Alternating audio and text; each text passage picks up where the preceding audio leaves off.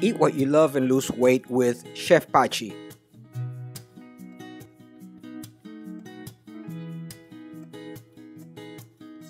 Hi, this is Chef Pachi and today I have an amazing video.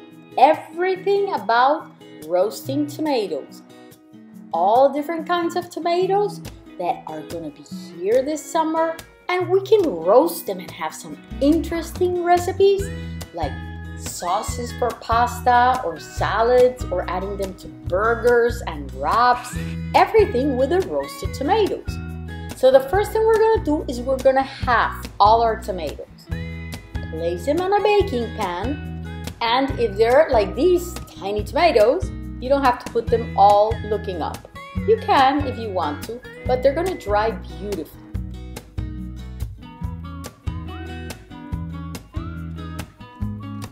Sprinkle them with a little bit of salt, bit of pepper, all over the pan. And then we're gonna drizzle in some olive oil. We want them to dehydrate, not dry. Now we're gonna add some basil leaves. Look at these beautiful green basil leaves, so fresh and beautiful. And they're gonna turn black and dry, but they're not gonna be burnt. They're gonna taste delicious. That's the color they take when they dry. So here we're gonna put all those basil leaves with the little tiny tomatoes, cherry tomatoes, and they're gonna mix and all of them are gonna flavor each other. It's gonna be fantastic. The pepper, the salt, the basil, all over our pan and our tomatoes.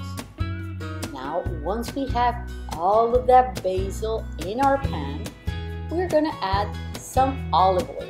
And we're gonna sprinkle olive oil all over the pan. And don't worry if it's not perfect because it's gonna start cooking and it'll flow from one to the other. No problem. We're gonna bake them for two hours in a 300 degree oven. Close your oven. I had it first heating so that when I opened it, it wouldn't lose all of the heat. This is one hour later. Look at them. They look beautiful. They're starting to shrink and I'm sure they're sweetening up a bit.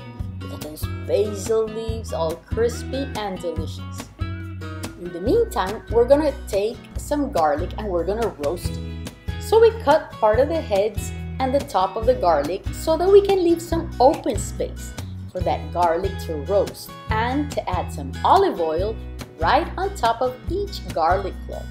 Just a tiny bit of olive oil and you could also add any herb that you wanted to. You don't have to, but you could if you wanted to. You could add some oregano, you could add some basil, you could add some thyme. How about some delicious rosemary? And that's it. Just add the olive oil, place them in that baking pan. We're wrapping them in the paper so that we can put them in the oven all at the same time. Remember the oven is hot. We just throw them into the pan, close the oven and wait for the next hour to come. If those garlic were on a baking pan at 250 degrees, I'd leave them there for half an hour only. Check it out. Mmm, looks beautiful. They're almost drying now. So close and wait another hour. Now they're ready. Look at that oil bubbling mixed with all that water. At this point, you could take those tomatoes, add some of this roasted garlic, and have a huge amount of pasta sauce. Roasted tomato and roasted garlic pasta. Of course, you might only want to use one head of garlic, even though the garlic is super, super smooth it is not strong. It is actually delicious. You can actually rub it on top of your bread and it's completely delicious. It's not to leave any smell in your mouth. You remove all the little garlic from the garlic heads and then we can keep them in the refrigerator for up to a month. It is amazing. I usually put them on top of my toast, on my burgers, in many recipes. Ooh, look at that. They're like a creamy and delicious, not intense garlic, but the flavor is amazing. Look at that. It's beautiful. Mix it and create a garlic paste from roasted garlic. Actually, a roasted garlic paste at the same time our tomatoes. So we're gonna keep all of our tomatoes in some glass containers same as the roasted garlic because we're to refrigerate them for a while. And I love them. Look at. Ooh, that's beautiful. Here we have some celebrity tomatoes.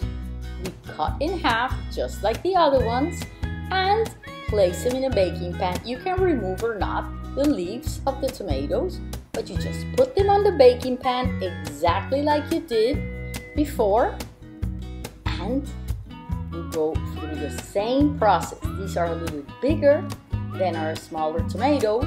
We're gonna add some chopped garlic here. So here we have some chopped garlic. Just throw it in there, salt and pepper, and we are done. This one has dried oregano leaves and some dried thyme. Now these ones have some oregano leaves. They are the same tomatoes with some oregano, dried oregano, and some heads of garlic. I love to add some roasted garlic to the tomatoes. Now we're gonna put these also in the oven at 300 degrees and these might take two and a half hours because they're a tiny bit bigger. The rest is the same. Now we go to our Roma tomatoes. And Roma tomatoes are also roastable. I'm gonna cut them the wrong side because I want them to keep more of the long shape. That way they look different. You can cut them any way you want, but if you cut them round, they're all gonna look the same. And I wanted to make some different ones. So I cut all of my Roma tomatoes by half, put them in the baking pan. These tomatoes I'm gonna put skin side up, not the same as I did with the other ones. It's just because I wanna do something different. You can do it skin side down, skin side up, however you want. But when you put them skin side down, you add the olive oil to the pan first and the salt and pepper, the herb, and then you put your tomatoes.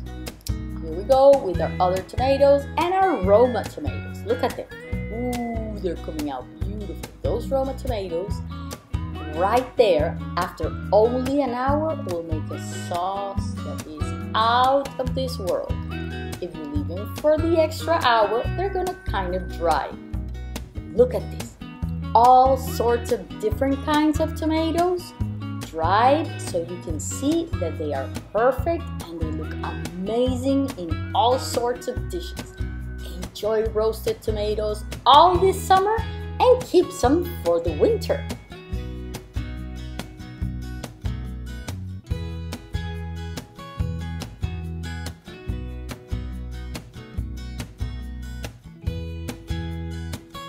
Remember, with Chef Pachi, delicious diets are sustainable diets. Subscribe and turn on the bell for recipe updates.